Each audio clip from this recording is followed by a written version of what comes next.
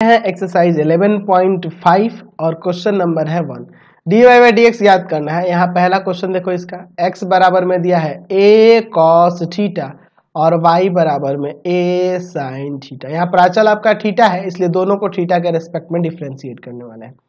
चलिए लिखते हैं। यहाँ differentiating with respect to theta theta के रेस्पेक्ट में डिफ्रेंशिएट करोगे तो यहाँ हो जाएगा आपका डी एक्स बटा में डी थीटा बराबर ए कॉस का क्या हो जाएगा? Minus sine minus sine theta ये समीकरण एक। उसी तरह इसको डिफ्रेंशिएट करोगे तो डी वाई बटा डी थीटा बराबर ए कॉस थीटा यह समीकरण दो। लिखेंगे समीकरण दो में। समीकरण दो में। समीकरण एक से, समीकरण एक से भाग देने पर। जैसे आपको रूल पता है ना, उसी तरह इसमें करना है।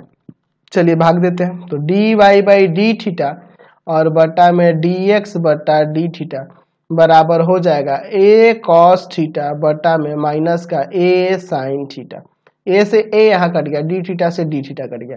यानी कि यहाँ पे D Y by D X बराबर कॉस बटा साइन कॉट हो जाएगा, माइनस का कॉट थीटा। ये आपका आंसर आ गया। चलते अगले क्वेश्चन पर। चलो, इसका